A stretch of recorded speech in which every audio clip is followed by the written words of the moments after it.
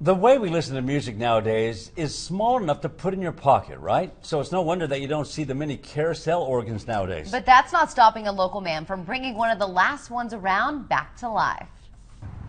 Uh, I've one- been one of these people that likes to tinker with everything. This one is well over 80 years old. When I got it, it was way out of tune.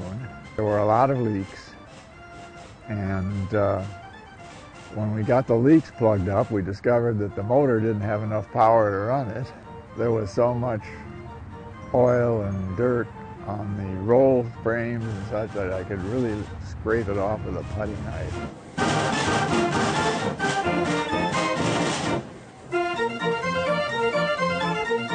This one uh, it has 203 pipes in it. And it's got quite a, quite a range.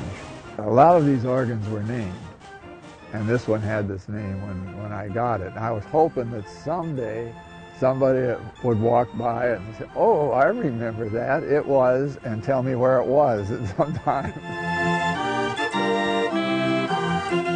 And every so often I fire it up, and I've never had a complaint from the neighbors. And uh, the only comments I've got is that they wished I'd play it more often.